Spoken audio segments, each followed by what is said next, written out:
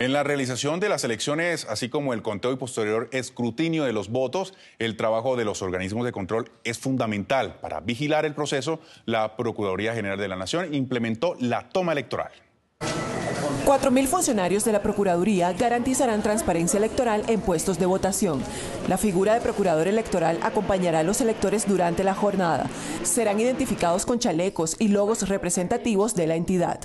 Nuestros funcionarios son los primeros veedores del cumplimiento de la publicidad exterior. Nos mandan las mismas fotografías, nos indican dónde ven que puede haber publicidad exterior colocada de manera inadecuada. Entonces, es toda la Procuraduría frente a la ciudadanía como un aliado para garantizar el voto limpio, el voto transparente y para que se haga valer el voto de los colombianos en este 11 de marzo. La toma del proceso electoral también incluirá el ejercicio de acciones disciplinarias y la rotación de todos los procuradores regionales para evitar conjeturas sobre su actuación y fortalecer la vigilancia en los comicios.